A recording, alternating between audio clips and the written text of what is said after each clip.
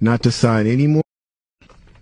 The secret meeting that changed rap music and destroyed a generation. Damn. So says, hello. After more than 20 years, I finally decided to tell the world what I witnessed in 1991, which I believe was one of the biggest turning points in popular music and ultimately American society. I have struggled for a long time weighing the pros and cons of making my story public as I was reluctant to implicate the, the individuals who were present that day. Mm. So I've simply decided to leave out the names and all the details that may risk my personal well-being and that of those who were, like me, dragged into something they weren't ready for. Damn. Hold on, let me, uh. So we gonna tell a story. We gonna tell the story. We ain't scared. You know what I'm saying? What they gonna do? They after us, not just playing. look, that black van. So look, so he says, between late, between the late 80s and early 90s, I was what you may call a decision maker with one of the more established companies in the music industry. I came to Europe in the early 80s and quickly established myself in the business. The industry was different back then, since technology and media weren't accessible to people like that, like they are today. The industry had more control over the public and had the means to influence them any way it wanted. Right. This may explain why in early 1991, I was invited to attend a closed-door meeting with a small group of business, with business insiders to discuss rap music's new direction. Hmm. Rap music's new direction. Yeah. Little did I know we would be asked to participate in one of the most unethical and destructive business practices ever seen. Crazy. So said so so this was the meeting.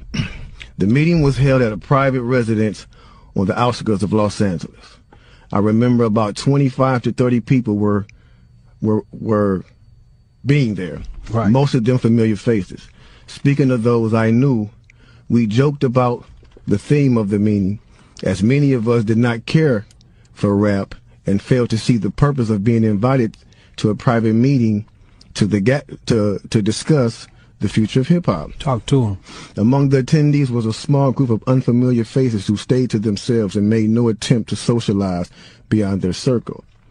Based on their behavior and formal appearances, they didn't seem to be from our industry.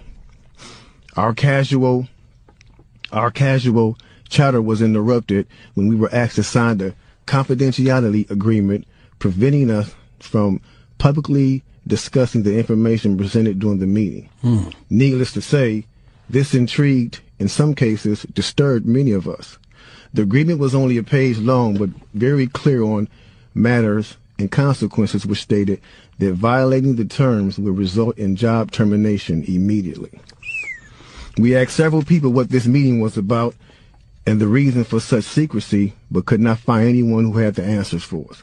A few people re refused to sign and walked out. Nobody stopped them. I was tempted to follow, but but curiosity got the best of me. That's right. A man who was part of the unfamiliar group collected all the agreements from us. So now it's going to get to the good part because the meeting about to start. Talk to him, G. it says, quickly after the meeting began, hold on one second. Get your popcorn, y'all. Popcorn, get your pistol. No, For real, um, though. Quickly after this meeting began, one of the industry colleagues, who shall remain nameless like everybody else, thanked us for attending. He then gave the floor to a man who only introduced himself by first name and gave no other details about his personal background. Mm. I think he was the owner of the residence, but that was never confirmed. He briefly praised all of us for the success we had achieved in our industries and congratulated us for being selected as a part as part of this small group of decision makers. At this point, I began to feel slightly uncomfortable and the strangeness of this gathering.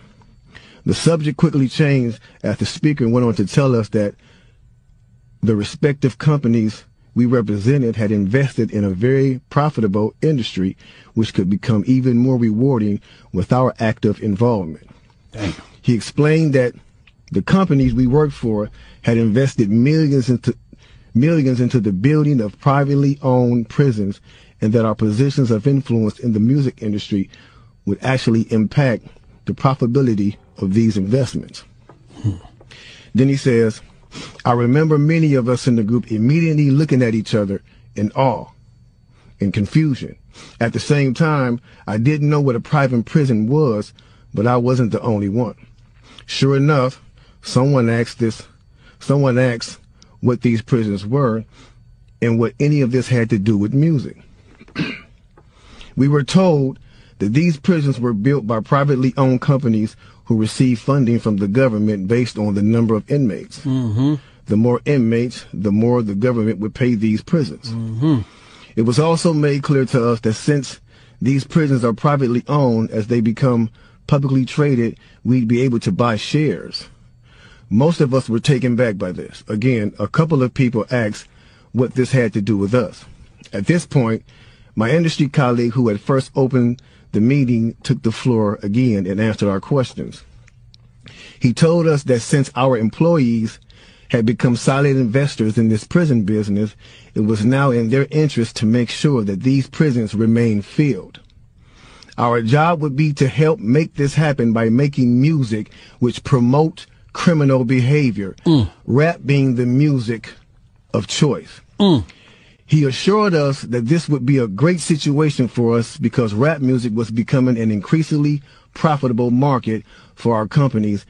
And as employees, we'd also be able to buy stocks in these prisons. Immediately, silence came over the room. You could have heard a pin drop. Hmm. I remember looking around to make sure I wasn't dreaming and saw half of the people with dropped jaws. My daze was interrupted when someone shouted, is this a fucking joke?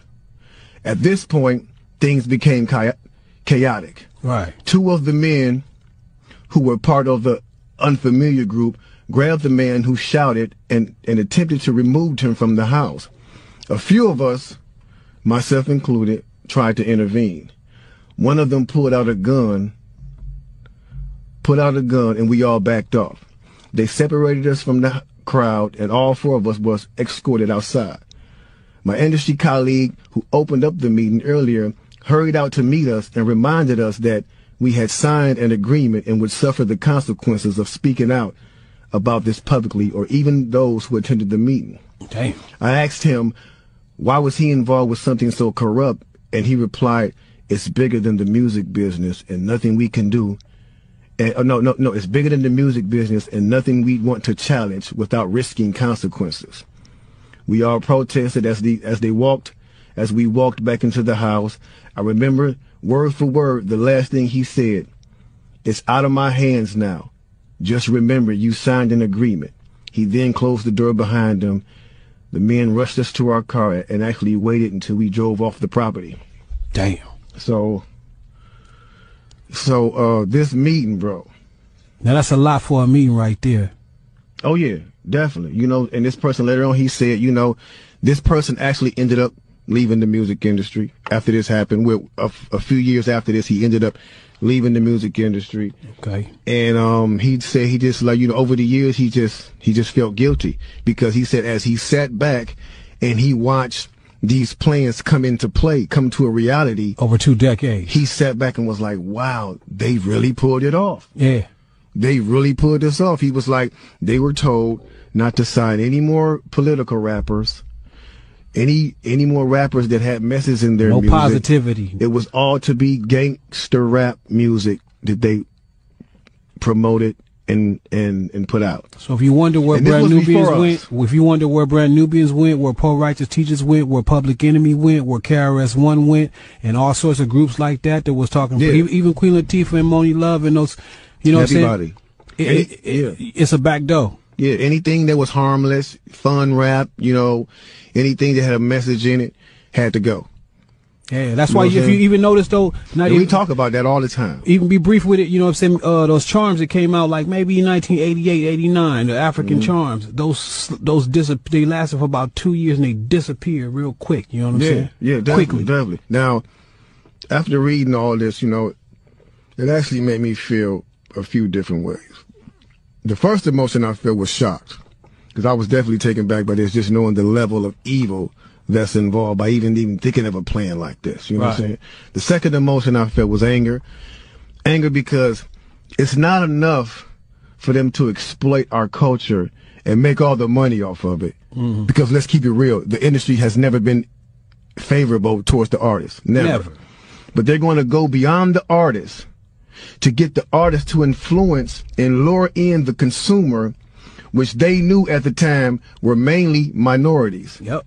In other words, keep promoting gangster rap so that the youngsters will be influenced by them, which in turn will incite them to want to act like them, and it's very and it's a very good chance they'll end up in their prison. Yeah. So they're getting paid twice. They're getting paid from the artists they signing, and then they're getting paid from the from the the people that these artists influence that goes to prison trying to be like these artists. Yeah. So they they they they making a killing. A killing. They're using the music business to promote their private prison business. Uh, my man is right, right there, talking that right. 1988, a man named Tom Beasley, man, that's the co-founder of the uh, the the um the uh, the, the the corrections the corrections for Calif- the corrections for Corporation of America. That's the CCA. You know what I'm saying? Excuse my French. I'm reading this thing right there real quick. It's the CCA. So in 1988, he founded that, and this this is in uh, straight straight uh, concert with the same thing. So it's like the music business. You do what you do on your side. And right. over here with the correction facilities, we're going to do on this side because, and now in 1970, there was 500 prisons. You know what I'm saying? Only 500 prisons in the United States. D- to this day, there's 1,700 prisons right now. Mm. That means big business. I'm talking about that then flippled over. You know what I'm saying? If, if flippled over is a word. Yeah. Because they're making a lot of money off of these things per inmate. You know what I'm saying? So getting with this, with the same thing of the of the music, it all it all went hand in hand, and we just end up we just partying at the same time. So, us as the artists is the tool they use. Yeah. The music is the bait, yep. and the young consumers are the prey. It's a cold game. Cold game, bro. Cold you know game. Then I feel sad. Sad because everything we seem to try to create we always seem to give it away. We're always being yeah. tricked and deceived into believing that they have our best interests at hand when clearly they never have and they never will. They never will have our best interests at hand. Every it's it's blow after blow after blow after blow. Nick the secret meeting